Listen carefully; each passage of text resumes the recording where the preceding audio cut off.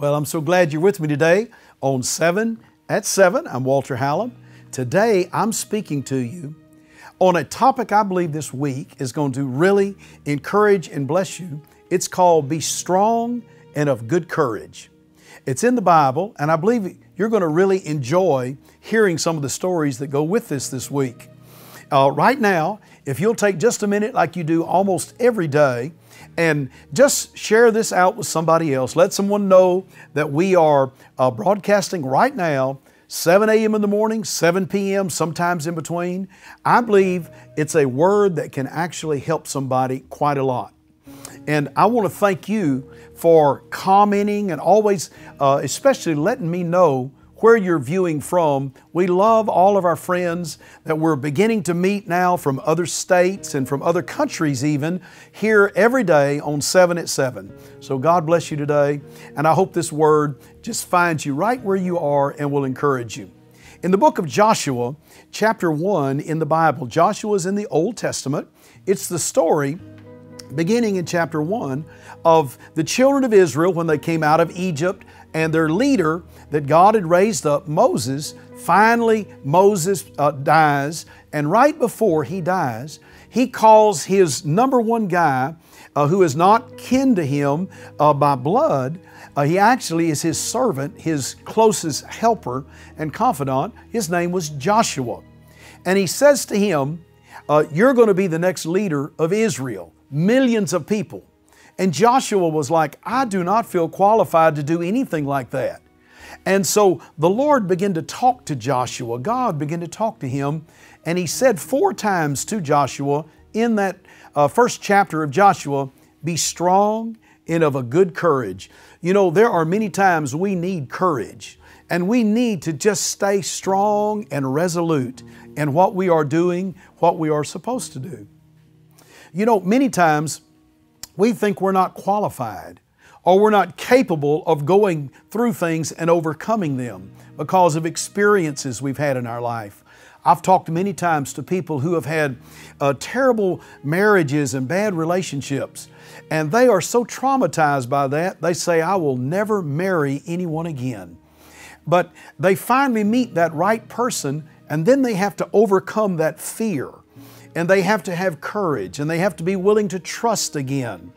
Well, you know, time helps that. And being very uh, honest with yourself and uh, being very uh, forgiving, and of course, not linking one person to a past person, but let every person prove their self out, uh, will allow you to get beyond that.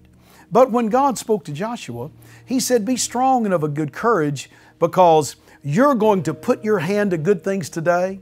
And if you will stay strong in your heart and you will be courageous, the way to be courageous is act courageous and have courageous actions.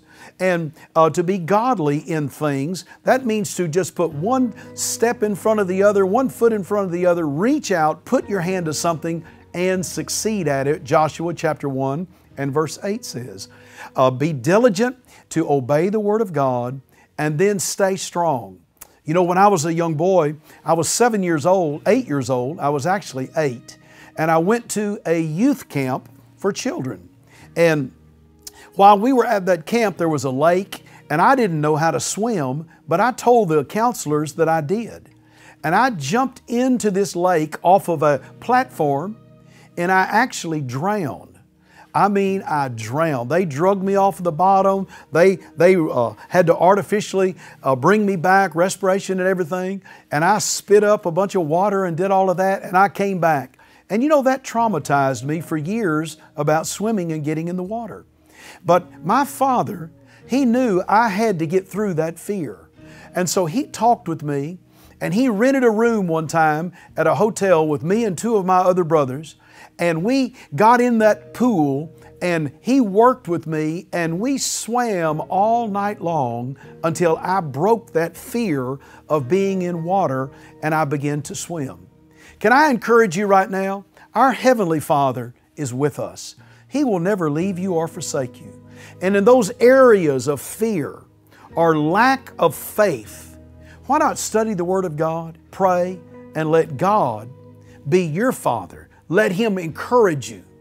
I encourage you, be strong and of good courage today. Let me pray for you. Father, in Jesus' name, I thank you that everything we have experienced has an impact on our lives. And the things we experience tomorrow, they help shape who we are. Lord, we say that courage and strength in obeying the Word of God, in prayer, in fellowshipping with godly friends, Lord, that it will strengthen us to overcome every fear, every phobia, and we will be like Joshua even when we feel unqualified because your presence is with us, Lord. We will be strong and courageous. In Jesus' name, amen. Have a supernatural day today. Uh, this is Walter Hallam, 7 at 7. I hope I see you at 7 o'clock. Thanks for sharing this with a friend. Bye bye.